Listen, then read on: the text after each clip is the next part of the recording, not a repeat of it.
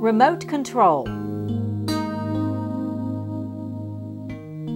Don't be afraid, just believe. Mark 5:36.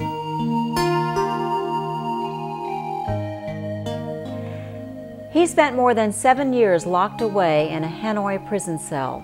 This brave U.S. Navy fighter pilot was shot down during a combat mission over North Vietnam during the Vietnam War. In this hell on earth known as a POW camp, he endured physical and mental torture, isolation, hunger, and more stress than any human being should be allowed. But he told me that no matter how horrific the situation, he never lost sight of his belief that God was in control and would see him through. Ralph Gaither told me his story more than 30 years after his capture. As I listened, I marveled at the strength of this man's faith and how it had sustained him during what must have been a terrifying, seemingly impossible, and inescapable situation. In the Gospel of Mark, we read the account of a man who was also in what appeared to be an impossible situation. He had requested Jesus to come to his house and heal his dying daughter. She perished while they were on the way. But Jesus was in control. He simply said to the man, Don't be afraid, just believe. Then, according to Mark, Jesus brought the girl back to life.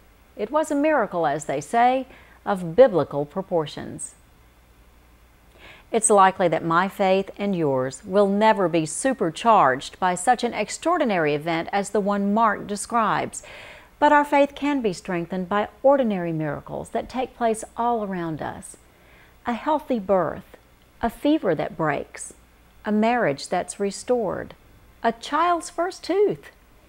And in the case of the faithful fighter pilot, an eventual release from the nightmare of solitary confinement in a POW cell. When you encounter trouble or a fearful situation, remember that God is in control and it is not a remote control. He is as close as a whispered prayer. Pray for your own faith to be strengthened. Ask for guidance, wisdom, and power to get you through your situation one day, one step, one breath at a time. Today's truth hang tough, don't give up, rely on God.